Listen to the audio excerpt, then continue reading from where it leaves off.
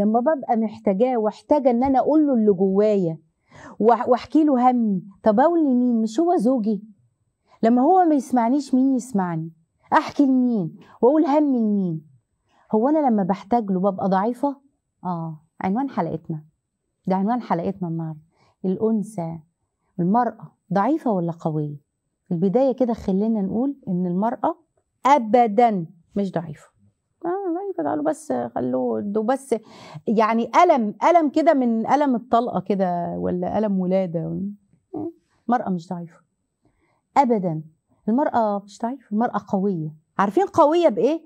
قوية بعلمها بدينها بأخلاقها بتمسكها بقيم عليا مستمدة من الله عز وجل.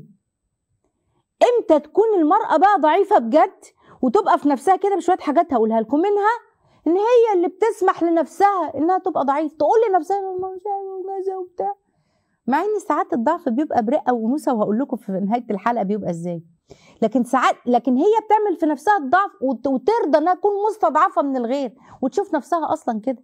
وتشوف نفسها أنا لا أستحق أصلا أي حق من الحقوق دي. مع إن الحقوق دي الله عز وجل عطاها لها. لا. تنكسر بقى وتنطوي على نفسها كده. أو يصيبها فكرة أو تستحوذ عليها فكرة أنت ما تستحقيش أو ما عندكيش شعور الاستحقاق بأي شيء. لا يا بنتي أنت تستحقي السعادة وتستحقي الحب وتستحق إن يبقى عندك سكن ومودة في حياتك الزوجية. تكوني ضعيفة إمتى؟ لما تفقدي العلم والمعرفة في حياتك لما تفقدي الشغف معرفة العلوم الجديدة أو التبحر في علم معين. لما تكوني ضعيفة لما تبعدي عن تعليم دينك وتتمسكي بعبارات المفسدين والغوائيين والها ها ها بتوع مش عارفة إيه المسلمين. وتظن إن سعادتها في التخلي عن القيم دي. لا. فكرة استغناء أصلا المرأة أنا هبقى قوية لما استغنى عن راجل؟ لا.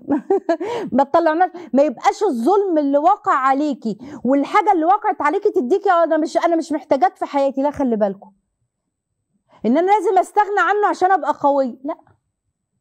ومش مهم راجل في حياتي. لا. وأنا أقدر أكمل من غيره وده كل لا لا لا. في- فلانة عملت اهي واتطلقت وكذا وكذا. كل واحدة لها تجاربها وتجربتها الخاصة الحالة خاصة بيها هي. ما ينفعش أصلا تسقطي تجربة غيرك على نفسك. كل حالة لها ظروفها الخاصة. المرأة بتحتاج الرجل في حياتها زي ما هو ما بيحتاجها. في بعض الأوقات صحيح بتقدر تكمل من غير راجل في حياتها الظروف أو الحياة فرضت عليها كده يعني طلاق أو أرملة أو كذا بتكمل ويجي عليها أوقات لكن تفضل مكملة مكملة مكملة تقول لك أنا مش حاسة بنفسي. أنا أنا أنا أنا أنا أنا مش واحدة ست مش حاسة إن أنا واحدة ست أنا تعبت أنا مش قادرة أكمل. ليه؟ لأن هي خدت دور غير دورها وخدت دور مش بتاعها. طب اللي فرض عليها الدنيا آه ربنا بيعينها بيعينها. وربنا بي آه بيقويها بيبقى فيه م- منافذ تانية. لكن أنا بتكلم اللي اختارت إنها تتصدر المشهد كده وأنا الراجل وأنا الست و... لأ لأ ما تستغنيش عن أنوثتك ابدا. ده, ده هو option طبعا ربنا عامله لنا ومعته لنا. لكن كونك إنك تستغني عنه لأ. الناس اللي أجبرتها ظروفها إنها تعمل كده لموت أو طلاق وكده. بس بعد كده بتقرر إنها تكمل على نفس المنوال حتى لو جات لها فرصة. ما أقصدش زواج تاني أو كده ما أقصدش كده. لكن لا هي تجي لها فرصة إنها حتى تعيش إنوثتها. لا. تاني كل تجربة مختلفة عن التانية. كل تجربة مختلفة عن التانية. وزي المرأة ما بتحتاج للرجل الراجل بيحتاج للمرأة. هي بتحتاج للرجل يا جماعة مش عشان هي ضعيفة ولا علشان يكملها. آه، مش ع... لا عشان هي ضعيفة بس عشان يكمل. هما بيكملوا بعض. بتحتاجوا عشان يسعدوا بعض عشان تفضل سعيدة عشان تفضل وردة كده مفتحة ما شاء الله عليها مش تهمل لحد ما تدبل وتموت. والراجل كمان بيحتاج المرأة عشان تكملوا وتسعدوا. كلا الطرفين بيحتاجوا بعض ويكملوا بعض ويسعدوا بعض ويعينوا بعض على أمور الحياة اللي ما يعلم بها ربنا. صح؟ صح. الله عز وجل لما خلق سيدنا آدم في الجنة خلقه الأول وحيد فاستوحش فخلق له إيه؟ زوجته. السيدة حواء ليه ليسكن إليها؟ ها؟ ويستانس بيه. دي فطرة. ما, ت... ما نقدرش ننكرها ونعيش. ممكن تكوني تعرضتي لظلم. أنا معاكي. وممكن تكوني تعرضتي لأسى كبير جدا. ما اناش عايزة شم مش عايزة اسم سيرة راجل في حياتي. بسبب الأسى واللي واقع عليه وبشوف حالات قتلى بس مش معنى كده إن الرجالة كلها وحشة. في رجالة رجاله شوف كده مش برنسات. ما شاء الله حاجة كده راجل برنس في نفسه وذاته كده. حاجة كده اللهم بارك. فدي فطرة ربنا خلقنا عليها ومش علامة ضعف ابدا ابدا. الله عز وجل خلق الجنسين المرأة والرجل. جعل لكل واحد فيهم دور أنت بتقوم بدورك بحكم التكوين الجسدي بتاعه. له القوامة وله كذا وانت ما تتجوزيه راضية بكده هو له القوامة هو هو اللي بيعرف يدير دفة السفينة. أنا مش مشكلتي ولا مشكلة الكون ولا مشكلة العالم إنك تختاري واحد أو تسيئي الاختيار فتقومي جاية حاكمة على الدنيا كلها وتقومي لا هو كده ولازم تسمعوا اللي أنا بقول. يا بنتي انت اللي عشتي تجربه واخترتي غلط وهو قدر يا ستي استخرتي وعملتي وخدتي بالأسباب كلها. لكن لكن كان ابتلائك ها؟ ما تعمميش تجربتك على الناس وتقولي لا اللي حصل ده, لا ده لازم يحصل. لا مش صح. مش مش لازم والله ما حدش لزمه ابدا ابدا. كل واحدة لها تجربتها. المرأة بتعرف تعتمد على نفسها وتنجح على فكرة وتبقى صاحبة شأن عظيم جدا. وكان على عهد النبي عليه الصلاة والسلام عندك سيدة الأعمال في التجارة والطبيبة والشاعرة والعلم السيدة عائشة. كان الصحابة بيرجعوا إليها في, في, في الأحاديث لو استشكلت عليهم مسألة يروحوا لها. وكانت المرأة في الدعوة إلى الله اللهم بارك لها دور وفي الجهاد كمان وفي الغزوات. لكن خلينا بنقول آه الراجل له القيادة وله القوامة وأنت لما اتجوزتيه أنت عارفة إن القوامة في إيده وأنت موافقة على كده. هو اللي صاحب القرار. بصوا كتاب وسنة ما فيهاش أنت اللي تقول فيها الله يقول رسول الله يقول خلاص انتهينا. لكن في أمور الدنيا ما بيقول قرار غلط والله يا دكتور هلا وبيبهدل الدنيا والبيت بيت وبص ضاحكين عليه. والله ضاحكين عليه مش بص مش أهله بس ضاحكين عليه وسارقين فلوسه. وبص مش عارفة عاملين إيه. وبص أيوه أيوه أيوه. أمور دنيا ها؟ وانت نصحتيه تعالي تعالي بس عشان نفهم. هو انت لما بيحصل غلط أو بيحصل هو بياخد قرار غلط انت بتعملي إيه؟ والله نصحتيه آه الله يحاسبني بقى هو سمعك. لا مش هيحاسبك على كده. حاسبني. قلت ولا أنا؟ نصحت لله ورسول عامة المسلمين وأئمة المسلمين وعامتهم نصحت كده؟ والله نصحت قلت مرة ما بسمعش كلامي ما بسمعش مش راضي يسوى عشان انت اللي قلتي مش سامع كلامك. يحاسب هو. وقلت لك قبل كده حاجة طيب بخاطرك واحفظوها عني احفظوها. والناس ما شاء الله بقى يحفظوها بيكتبوها في الكومنتات. ببركة طاعتك لقرار زوجك الغلط أصلا. ده كلام الشيخ سعد مش كلام. لقرار زوجك الغلط أصلا. بس أمر في أمور الدنيا مش كتاب وسنة. وأنت سمعتي كلامه في أمر ده ببركة سماعك لكلام مع إنه قرار غلط. الله عز وجل يبارك في الغلط ده في القرار ده. ويعود ببركة وخير على بيتك وعلى أولادك. عليكي إيه؟ قلتي؟ آه إن شاء الله بقى خلاص انصح صاحبك مش عارفة من الصبح للعصر وبعدين ما أعرفش يسيبه بقيه اليوم يعمل إيه؟ تمام كده. بننصح بعد كده خلاص. انت لك القوم إحنا إحنا مصدقين ده ومؤمنين بده ومدين لك الأمر لازم تبقى واخدة بالك من حاجة زي كده. لكن لا أصلك ما بتفهمش خدت واحد ما بيفهمش ليه؟ لا أصل هو ما بيعرفش أنت خدت واحد ما بيعرفش ليه؟ قررت تتزوجي يبقى الأمر في إيده. يبقى اختاري صح. طيب هو على الراجل يعمل إيه بقى؟ يحترم رأي المرأة. هي مش كرسي ولا أساس ولا جماد في البيت يعني. المطلوب من الزوج الصبر على الاختلاف ده محاولة التوفيق ما بين اللي أنت عايزه واللي أنت عايزه. بصوا يا جماعة الراجل الضعيف خلي احفظي. الراجل الضعيف واسمعوا يا شباب. إيه الضعيف ده اللي ما بيشوفش حقوقي أنا وليا وعلى طب يا جماعة يهملها ويتركها على حقوق زوجته ولا نيلة ولا بتاع ولا احتياجات نفسية ولا جسدية ولا شايف حاجة أنا وبس أنا أنا أنا. انت مش أنت جايبها يا ابني مبهدلة ولا جايبها من بيت ألاقي ما على الأكل والشرب يا ابني ما كانت بتاكل وتشرب في بيت أهلها. إيه لازمتها البهدلة وكده؟ حقي وهي لازم تعرف. وفين هي حقوقها؟ وفين عشان ما تقولش؟ وتفقدها ثقة في نفسها وترجع تقول ده الدين أنا استحالة الدين يعمل كده. لسه سامعة مقطع بتاع حوالي 32 دقيقة لواحده بتناقش المسلمين الجدد وبتناقش ناس بيقارنوا ما بين الأديان. وبعدين قالت حاجة عجيبة جدا جدا وقالت شبهة رهيبة جدا جدا. لقيت كل الكومنتات منشن ليه في إيه تعالوا في إيه نساء. هو فعلا الدين كده؟ مش هو فعلا راضين؟ يا نهار أبيض يا ليه ليه تفتنوهم في دينهم؟ معاملة الراجل لزوجته معاملة الزوج السيئة لزوجته بعدم مراعاة احتياجاتها وحقوقي أنا وبس وسايبها وهاملها؟ معقول ده؟ ما هو متدين هو بيصلي وعارف ربنا. يبقى ربنا راضينا بيقول الدين بيقول كذا وكذا. عارف اللي له بس. غلط. اوعى تفتنها في دينها اوعى تفقدها ثقة في نفسها بسبب آه، آه، عنادك أو كبرك أو عدم فهمك للأمور. الراجل ساعات لما بيبقى له خلفيات وتجارب شخصية وتربى في بيئة فيها امرأة متسلطة جدة عمة خالة أم مثلا أم والدته بيفسر كلمة لأ بس لأ ما هو ده مش صح. لأ يا نهارك أبيض أنت قلت لي لأ تعالي لي بقى تعالي لي ده أنت انت كأنها ندية ولازم تنكسر ونكسرها علشان مش عارفة إيه. مين اللي علمك كده يا ابني؟ مين اللي قال لكم ال ال ال تحس إن هي يعني يعني لبانة؟ ولفه البيوت ولفه عن ليه كده؟ إلا ما رحم رب لأن في رجالة أشهد لهم اللهم بارك. فعلا فعلا اللي يتقال عليهم رجال. كانوا رجال هم دول هم دول بالمعاملة وبالدين وبالأخلاق وبالمعاملة. مين المعاملة؟ دينك جوارحك بتعمل إزاي؟ بتنفذ الدين ولسانك بينفذ الدين ولا إيه؟ لك حال ومرجعه تخاف من الله اتقي الله دي ترعبه. آه. الراجل القوي بقى اللي بيعمل إيه؟ اللي بيسعى إنه يعمل الحاجات اللي تسعد زوجته اللي يهتم بيها. ويهتم بأولوياتها. بتحب إيه؟ ها؟ مش بيهمشها وأنت كرسي وأنت مالكش روحي في المطبخ. مين قال لك إن إن هي ما بتروحش ما هي مزروعه في قلب الم... في قلب بس ده هل ده معناه ان يلغي دماغها مثلا يعني ولا إيه؟ ابدا تلاقي كتير جدا جدا من النساء يحزنها مقولة انت امرأة ضعيفة. اوعي تزعلي اوعي تزعلي من الكلام ده انت مش ضعيفة. ده ده قوتك في أنوثتك وضعفك ده. قوتك أصلا في ضعف قوتك في كمال أنوثتك على فكرة. قوتك إنك بتتمسكي بقوة بالكتاب والسنة سنة الرسول عليه الصلاة والسلام. صلوا عليه. قوتك في علمك قوتك في اعتقادك الداخلي عن نفسك قوتك في إنك تستحق تقولي لنفسك كده ده اعتقادي أنا أستحق الأفضل. اللي ربنا كتبهولي وأنا بطلب حاجة خلاف اللي ربنا قالها لي.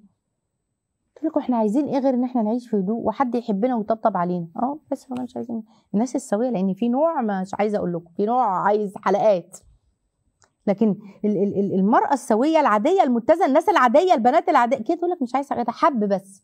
أحس إن أنا محبوب أحس إن هو حبيبني مش كارهني ومنمرشني وكذا وكأني عدوه له إيه إيه إيه إحنا فين؟ مش كفاية الكورونا والزلازل وبتاع وأنتوا كمان علينا. صعب. صعب أما تيجي مرأة تتصل ثلاث ساعات بتبكي. بس هو أنا ضعيفة؟ يا بنتي لأ. أنت عارفة قوية بشعورك يبقى عندك شعور استحقاق. عارفة يعني إيه؟ أنا أستحق إن أنا أعيش سعيدة. اوعي الإحساس والمشاعر دي تضيع من عندك تخليهاش تموت ابدا أو تلغيها. لا عشان تبعاتها مؤلمة جدا جدا وتعيشي مكسورة وساعتها أقول لك تعيشي مستضعفة أو منقادة من كل اللي حواليك. بصوا الرسول عليه الصلاة والسلام قال إيه؟ قال رفقا بالقوارير. وإحنا شرحناها من كام؟ مش عارفة ثلاث بقالنا أربع سنين. الرسول عليه الصلاة والسلام شبه النساء بالقارورة. قارورة للزقاق الزجاج الجميل. فين الكاسين اللي أنا قلت لكم اللي بيتجابوا في النيش اللي محدش بيلمسهم فين الكاسين اللي مش عارفة بكام دلوقتي؟ 1000 وي دول. زجاج رقيق جدا. هو ده. هي دي المرأة زي الزجاج. سهل خلي بالك. تعملي كده يتكسر هي كده لو أذيتيها بكلمة إيه ده؟ ليه؟ لأن هي طبيعتها رقيقة أصلا. هي عندها رقة مشاعر وأحاسيس. لما حد يقوم يكسرها بقى تعمل إيه؟ آه تجرحه. تجرح اللي قام بكسرها زي الإزاز لما بيتكسر بيعمل إيه؟ يصبح حاد ويجرح الإيد كده. هي كده بالظبط. ما تكسرهاش يا ابني. مش هتعرف تلمها تاني. ولو لمتها عمرها ما ترجع زي الأول. مش مكسوره تقول لك آه عشان خاطر لا إحنا مش عايزينك كده. أنا مش عايزاكي تعيشي عشان خاطر لا أنا عايزاكي تعيشي بنوايا وبأهداف. وتبقي فرحانة وسعيدة. وهو يبقى عارف قيمة الزوجة اللي معاه ويسعدك يا بنتي. ما رأيت الحديث الثاني من ناقصات عقل ودين أذهب للب الرجل الحازم من إحداكن.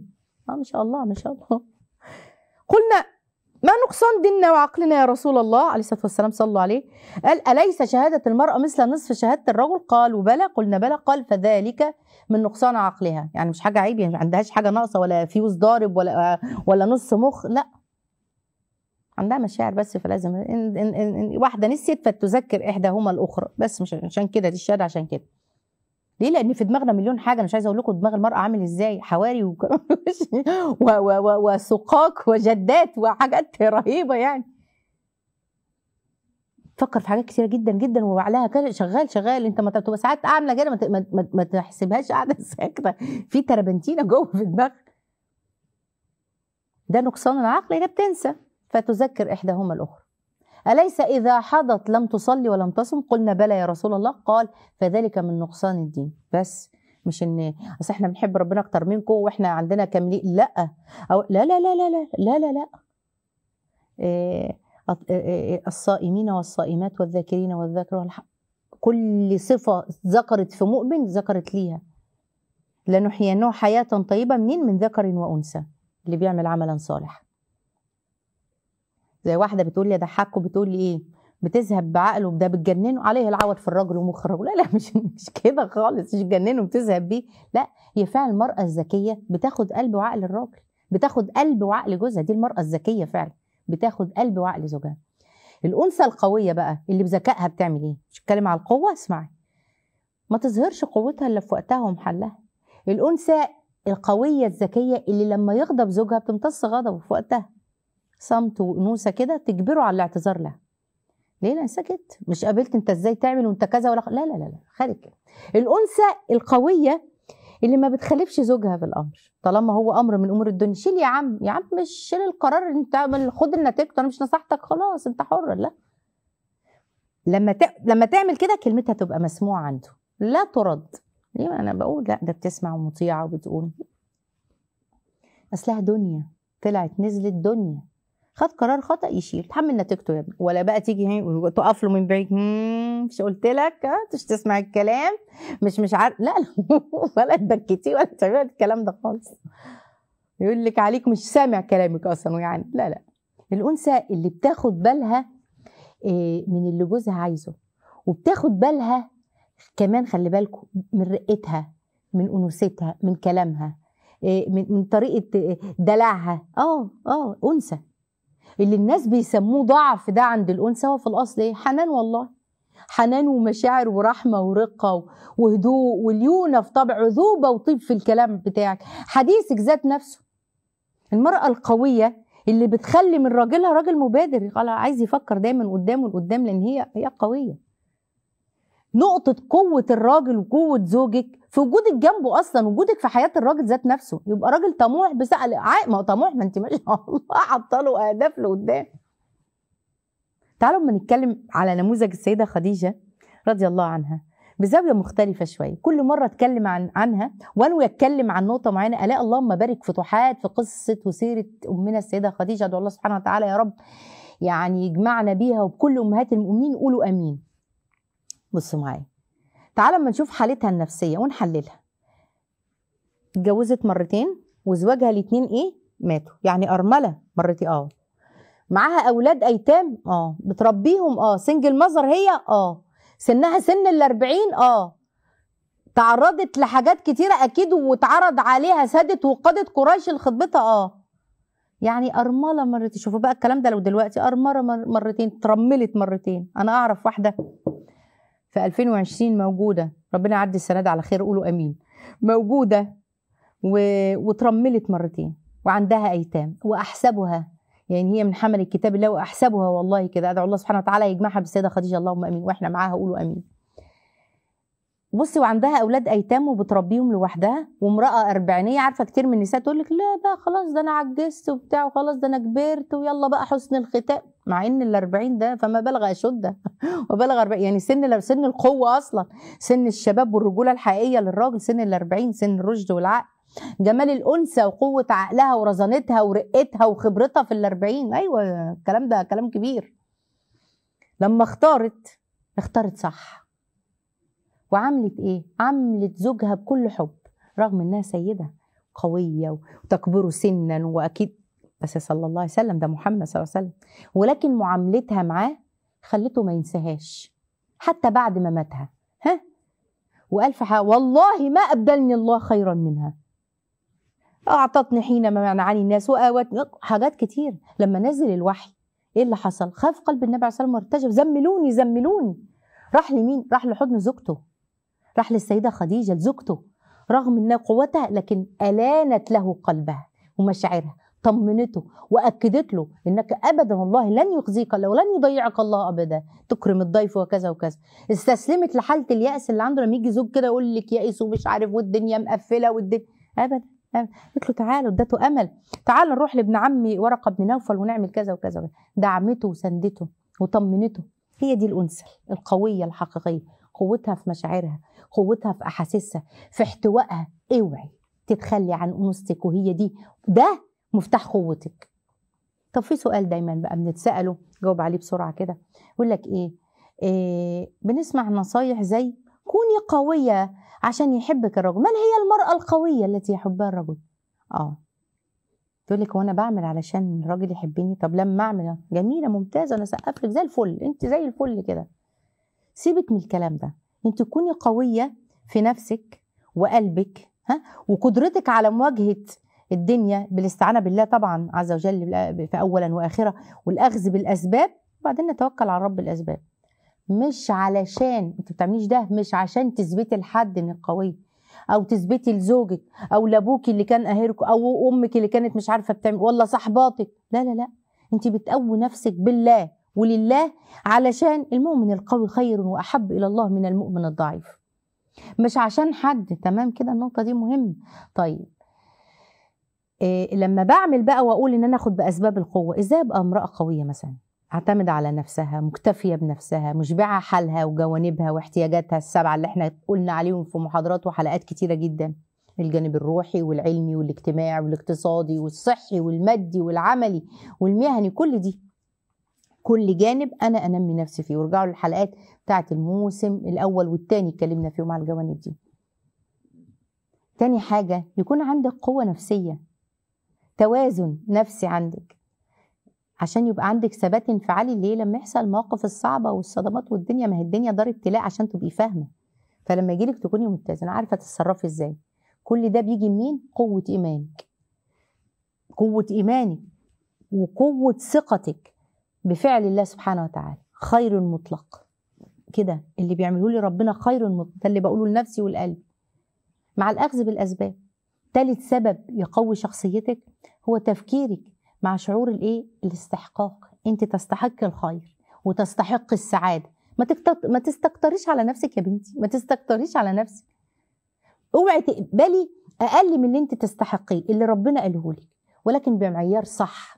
انت تستحقي الأفضل. آه اسعي ده بالأسباب والأخذ بها ثم التوكل على الله سبحانه وتعالى إنه ييسر لك الأمور دي إن كان خيرا لي يا رب اقضه والأهم من ده كله الرضا بقدر ربنا سبحانه وتعالى ليك مش استسلام. تقول لك لا ما خلاص ما أجي كده وده. لا لا لا. في الواحد دايما بيحاول يغير للأحسن دايما. وزي ما قلنا يعني بتاخدي بالأسباب وبتعملي تتغيري للأحسن. يبقى المرأة بتحتاج الراجل عشان يكملها مش عشان هي ضعيفة هو كمان بيحتاج عشان تكمله. والنقطة التانية المهم جدا ويغفل عنها كتير جدا جدا من الأزواج حاجتها المرأة بتحتاج للحب والمشاعر والمحبة الصادقة اللي بتخليها تحس إنها مكانة عالية في قلب جوزها وإن زوجها ده هي مقدرة عنده. طبيعتك أيتها الأنثى أنت مخلوق جميل اسمعي مني ما تسمعيش من أي حد اسمعي مني. أنت مخلوق جميل. أيها الرجال اسمعوا اللي أنا بقوله لكم والأزواج المرأة مخلوق رقيق. عاطفي حساس عندها كتير من العواطف الجياش حنونة.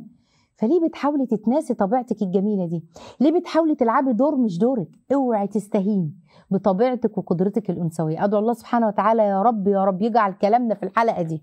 يعني يصل لقلوبكم وفعلا فعلا تكوني فعلا حاسة إنك جواكي أنا أنثى أنا قوية بالله سبحانه وتعالى أنا أستحق الأفضل لله سبحانه وتعالى عطول أنت مش ضعيفة وما تزعليش ما تزعلوش يا نساء.